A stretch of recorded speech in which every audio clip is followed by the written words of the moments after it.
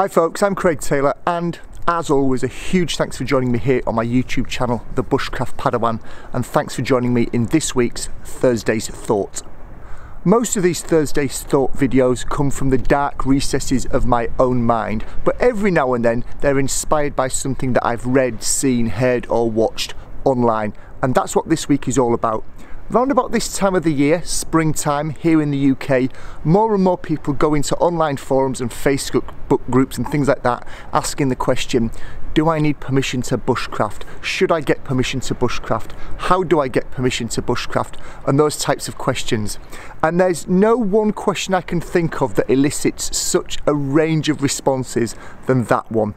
You get responses ranging from, yes, you ideally should ask for permission, um, to yes you should ask for permission but you'll probably get away with it.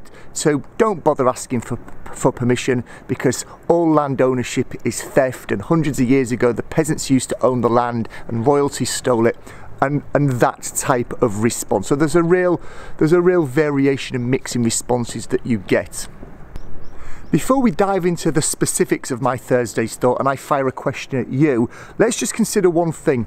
You don't necessarily need permission to go and practice some bushcraft skills by any stretch of the imagination. I'm putting up in the top right hand corner of the screen now a video that I recorded ages ago. It's proven really popular to show just some of the things that you can go and do without needing permission assuming that you have the right to be on that land, you can go and practice these things. So on public land, on the beach like I am this evening, um, in your garden, in your front garden, on a bridleway, in a park, there's lots of things that you can do if you inherently have permission to be there, if it is a public space.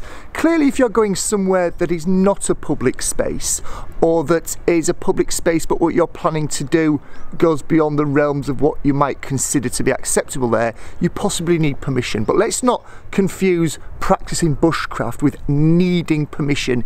It depends on where you are going.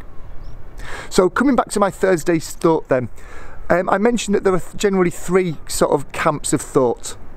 Yes, you need permission and you should obtain it. Yes, you need permission, but you can probably get away with it. And don't bother with asking permission because of all sorts of reasons. Personally, I fall into the yes, you should ask for permission and you shouldn't be really doing anything on that land if, if you need permission to be on the land without obtaining that permission. And I'm fortunate that I've got two or three permissions now, one that I frequent more than the other two, that I'm able to go on and do almost anything that I want to do within reason, the kind of things that you, you see me doing on video, I'm able to go and do those things with permission. I'm very lucky.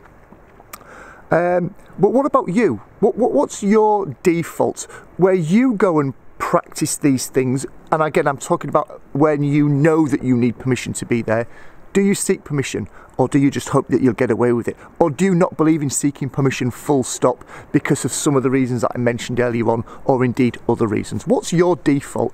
What's the default in your part of the world? I'm very conscious that I'm looking at this through the lens of somebody that lives in the United Kingdom and that England, Ireland, Wales, with the exception of Scotland, all follow certain rules that, that you're expected to follow. But that's in England. I mean, I live in England. What about you? Where do you live?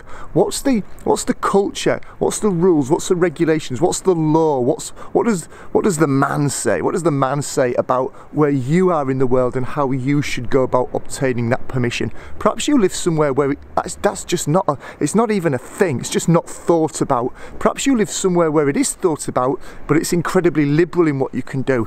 Perhaps you live somewhere, a little like in England, where yes, you do need permission and good luck trying to get it from somebody because it can be really tricky. I always enjoy reading your thoughts, ideas, and suggestions, particularly as this question is aimed at a global audience that could come back with very different answers. So please do leave your thoughts below. If you're a subscriber, Thanks as always. If you're not, you know what to do by now. Click on that red subscribe button, like, share, all the usual stuff that I talk about, and I look forward to seeing you in my next video very, very soon. Cheers.